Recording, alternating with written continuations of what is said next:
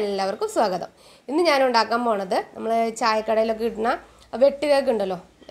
റവയൊക്കെ ചേർത്ത് നല്ല ക്രിസ്പി ആയിട്ടിരിക്കുന്ന വെട്ട് കേക്ക്. ഓവനൊന്നും വേണ്ട. നമുക്കിത് ഫ്രൈ ചെയ്തെടുക്കാൻ പറ്റുന്ന ഒരു വെട്ട് കേക്കാണ്. അപ്പോൾ നിങ്ങൾ എന്തായാലും ഇത് ഇഷ്ടപ്പെട്ട് കഴിഞ്ഞ് തയ്യാറാക്കി നോക്കാൻ മറക്കരുത്. ഇനി നമുക്കൊരു ഏകദേശം ഒരു മാസത്തോളം നമുക്ക് നാല് മണി ചായക്ക് വേറെ ഒരു പ്രത്യേകിച്ച് ഒരു സ്നാക്സ് നമുക്ക് ഉണ്ടാക്കണ്ട ഇതൊരു മാസം നമുക്ക് കേടുകൂടാതെ സൂക്ഷിക്കാൻ പറ്റും. അതാണ് ഈ കേക്കിന്റെ പ്രത്യേകത. മറ്റുള്ള കേക്കുകളൊക്കെ ഒരു മാസം സൂക്ഷിക്കാൻ പറ്റില്ല. ഇതെന്തായാലും ഒരു മാസം ഇരിക്കും. നൂറ് ശതമാനം ഉറപ്പാണ്. അപ്പോൾ നമുക്ക് വേറെ ഒന്നും അതിന്റെ ഇടയ്ക്ക് എന്തെങ്കിലും വേണമെങ്കിൽ ഉണ്ടാക്കാം. പക്ഷേ ഇത് കുറച്ച് അധികം ഉണ്ടാക്കി വെച്ചാൽ എന്തായാലും ഒരു പത്ത് ദിവസമൊക്കെ എന്തായാലും നമുക്ക് കുറച്ച് അധികം എടുത്ത് വെച്ച് ഉണ്ടാക്കാം. പക്ഷേ കേടുകൂടാതെ ഒരു മാസത്തെ അധികം ഒരു മാസത്തിലധികം ഇരിക്കും കേട്ടോ അപ്പോൾ നമുക്ക് ഈ വെട്ടുകേക്ക് എങ്ങനെയാണ് തയ്യാറാക്കാൻ നോക്കാം.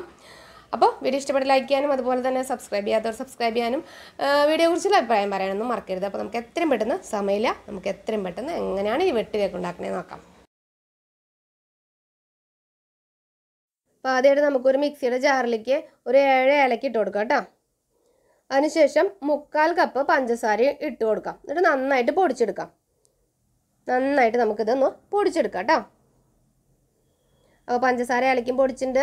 അതിലേക്ക് ഞാൻ കാൽ ടീസ്പൂണ് മഞ്ഞൾപ്പൊടി ചേർത്ത് കൊടുക്കുന്നുണ്ട് കേട്ടോ. ഈ മഞ്ഞൾപ്പൊടി എന്തിനാണെന്ന് വെച്ച് കഴിഞ്ഞാൽ ഇത് കുറച്ച് നമ്മുടെ കേക്ക് നല്ല കളർഫുൾ ആയിരിക്കാൻ വേണ്ടിയിട്ടാണ് കേട്ടോ.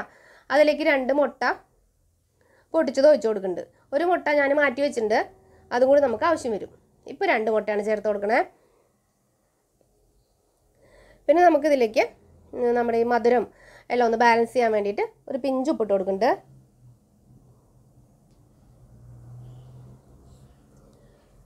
നമുക്ക് ഈ മുട്ടയുടെ സ്മെല്ലൊന്നും അധികം വരാതിരിക്കാൻ വേണ്ടിയിട്ടേ അര സ്പൂണ് വാനില എസെൻസ് ചേർത്ത് കൊടുക്കുന്നുണ്ട് കേട്ടോ. ഇനി മുട്ടയുടെ സ്മെല്ലൊന്നും വലിയ ഇഷ്ടം കുഴപ്പമില്ല എന്നുള്ളവർ ഇത് ഒഴിച്ചില്ലെങ്കിൽ കുഴപ്പമൊന്നുമില്ല. പിന്നെ നമുക്കിതിലേക്ക് മൂന്ന് സ്പൂണ് പാൽ ഒഴിച്ച് കൊടുക്കാം കേട്ടോ. ഇതൊക്കെ ഒഴിച്ച് കൊടുത്തിട്ട് നമുക്കിതൊന്ന് മിക്സിയിൽ കറക്കി റെഡി ആക്കിയിട്ട് മാറ്റി വയ്ക്കണം ഇനി നമുക്ക് അടുത്ത പണി എന്താണെന്ന് വെച്ച് കഴിഞ്ഞാൽ ഒരു പാത്രം എടുത്തിട്ട് അതിലേക്ക് അര കിലോ മൈദ ഇട്ട് കൊടുക്കുന്നുണ്ട് ഞാനിപ്പോൾ ഇതിലേക്ക് മൈദയാണ് കേട്ടോ കൂടുതൽ വേണ്ടത്. പിന്നെ വേണ്ടത് റവയാണ്.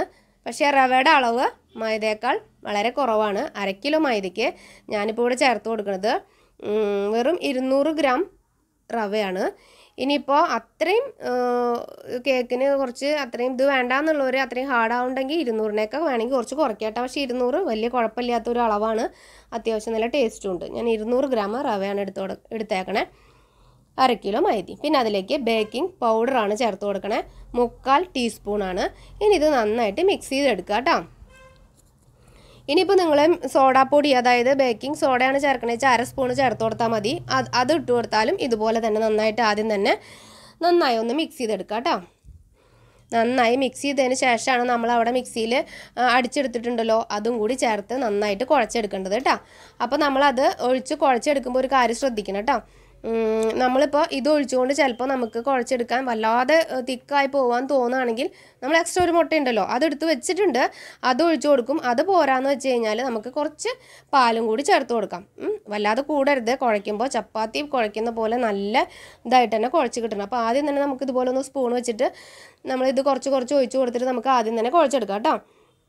അപ്പോൾ വെള്ളം നിങ്ങൾ ഒട്ടും ഒഴിക്കരുത്. അതാണ് ഞാൻ ആ പാലിന്റെ അളവ് കാണിക്കുന്നത്. അപ്പോൾ നമ്മൾ കുറച്ച് പാൽ ഒഴിച്ചാൽ കുറച്ചും കൂടി ടേസ്റ്റ് കൂടുകയും ചെയ്യും.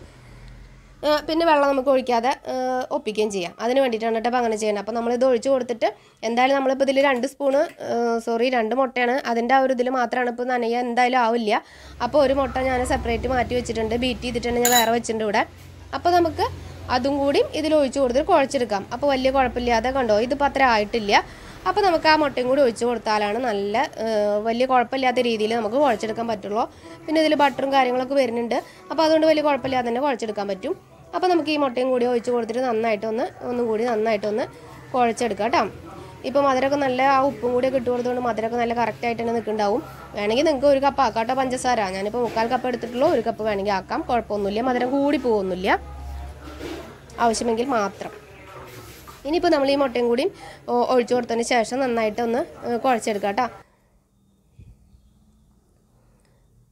എന്നിട്ട് നമുക്ക് ഒരുവിധം ഒന്ന് കുഴ കുഴഞ്ഞ് വന്നതിന് ശേഷം നമുക്ക് ഒരുവിധം ഇതുപോലെയൊക്കെ ആയി വരുമ്പോൾ നമുക്ക് അതിലേക്ക് ഒരു സ്പൂണ് ബട്ടർ ചേർത്ത് കൊടുക്കാം കേട്ടോ. ബട്ടറോ അല്ലെങ്കിൽ പിന്നെ നിങ്ങൾ നെയ്യാ നിങ്ങളുടെ കയ്യിൽ ഏതാണുള്ള ബട്ടറോ നെയ്യ് ഏതായാലും കുഴപ്പമില്ല. ആ ഈ സമയത്ത് അതും കൂടി ചേർത്ത് കൊടുത്തിട്ട് നമുക്ക് കുഴച്ചെടുക്കാം. ഓയിലൊന്നും ഒഴിക്കാതിരിക്കുകയായിരിക്കും നല്ലത് നമ്മൾ എന്തായാലും ബട്ടറോ നെയ്യോ. കേട്ടോ? എന്നിട്ട് നമുക്ക് ഇതുപോലെ കൗണ്ടർ ടോപ്പിൽ ഇട്ടിട്ട് നന്നായിട്ടൊന്ന് കുഴച്ചെടുക്കാം കേട്ടോ. അത്യാവശ്യം നന്നായിട്ട് തന്നെ ഒന്ന് കുഴച്ചെടുക്കണം. ചപ്പാത്തിക്കൊക്കെ കുഴക്കുന്ന പോലെ തന്നെ കുഴക്കണം അതിന് അത് കഴിഞ്ഞിട്ട് നമുക്കൊരു അരമണിക്കൂർ ഇത് മാറ്റി വയ്ക്കാം കേട്ടോ. മാറ്റി വെച്ചിട്ട് അരമണിക്കൂറിന് ശേഷം നമുക്കിത് എടുത്ത് എടുത്താൽ മതി. അപ്പോൾ നമുക്ക് ഒന്നുകൂടി ഒന്നും കൂടി സോഫ്റ്റ് ആയിട്ട് കിട്ടും അതിന് വേണ്ടിയിട്ടാണ് ഇപ്പോൾ ഇതാ ഞാൻ അരമണിക്കൂർ കഴിഞ്ഞിട്ടാണ് ഇപ്പോൾ നിങ്ങളെ കാണിക്കുന്നത്. അതിന് ശേഷം നമുക്ക് ഇതുപോലെ ഒന്ന് റോൾ ചെയ്തെടുക്കാം കേട്ടോ. അപ്പോൾ നമ്മൾ കേക്ക് എത്രത്തോളം വലിപ്പം ആവശ്യമുണ്ട് അതിനനുസരിച്ച് നമ്മളിത് റോൾ ചെയ്തെടുക്കുക. കണ്ടോ? ഇത് ഈ റോൾ ചെയ്യുന്നത് കുറച്ച് നീളത്തിൽ റോൾ ചെയ്യുകയാണെങ്കിൽ നമുക്ക് ചെറിയ കേക്കായിരിക്കും അപ്പോൾ ഇതിന്റെ രണ്ട് സൈഡും നമുക്ക് കട്ട് ചെയ്ത് മാറ്റി കളയാം കേട്ടോ ഇതിപ്പോൾ അത്യാവശ്യം നമ്മൾ കടയിൽ കിട്ടുന്ന അത്രയും വലുപ്പത്തിലുള്ള കേക്കാണ് ഇപ്പോൾ ഞാൻ ഉണ്ടാക്കി കാണിക്കുന്നത്. എന്നിട്ട് അത് ഈക്വൽ പാർട്ടായിട്ട് നമുക്ക് കത്തുകൊണ്ട് കട്ട് ചെയ്തെടുക്കാം കേട്ടോ ഇതേപോലെ തന്നെ കട്ട് ചെയ്തിട്ട് എടുക്കാം. ഇതുപോലെ കട്ട് ചെയ്തെടുക്കാം. അപ്പോൾ ഞാൻ എല്ലാതും ഇതുപോലെ കട്ട് ചെയ്തിട്ടുണ്ട്. എന്നിട്ട് അത് നമുക്ക് മാറ്റി വയ്ക്കാം അപ്പോൾ നിങ്ങൾ ചെറിയ കേക്ക് മതിച്ചാൽ ഒന്നുകൂടി ഒന്നും കൂടി റോൾ ചെയ്തെടുക്കാം കേട്ടോ പിന്നെ നമുക്ക് ഇതിനെ ക്രോസ് ആയിട്ട് ഒന്ന് കട്ട് ചെയ്യാം.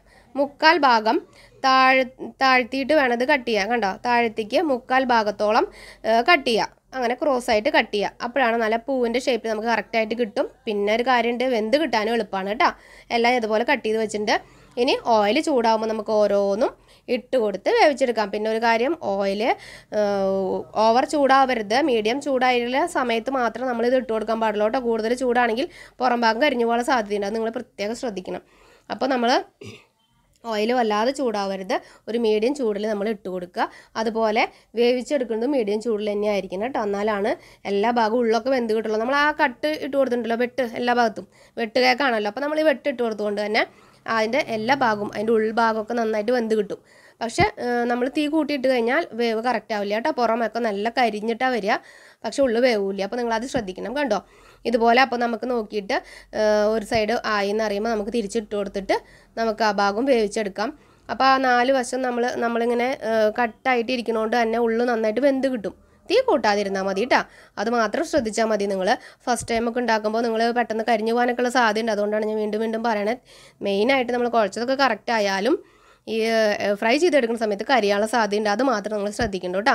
മീഡിയം ഫ്ലെയിമിൽ ഇട്ടിട്ട് വേവിച്ചെടുക്കാനായിട്ട് അതായത് ഫ്രൈ ചെയ്തെടുക്കാനായിട്ട് ശ്രദ്ധിക്കുക എല്ലാവരും.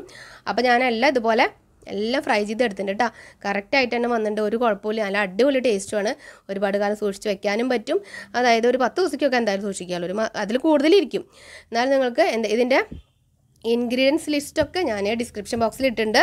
അത് പോയി നോക്കിയിട്ട് നിങ്ങൾക്ക് ഉണ്ടാക്കാം. ഞാനിപ്പോൾ ഈ പറഞ്ഞതൊന്നും ക്ലിയർ ആയില്ല എങ്കിൽ തന്നെ ഡിസ്ക്രിപ്ഷനിൽ കൊടുത്തിട്ടുണ്ട്. അത് പോയി നോക്കിയിട്ട് നിങ്ങൾക്ക് ഉണ്ടാക്കാവുന്നതാണ് കേട്ടോ അടിപൊളിയായിട്ടുള്ള വെട്ടിയൊക്കെ റെഡി ആയിട്ടുണ്ട്. ഇനി നല്ലൊരു വീഡിയോ ആയിട്ട് വരുന്നവരെ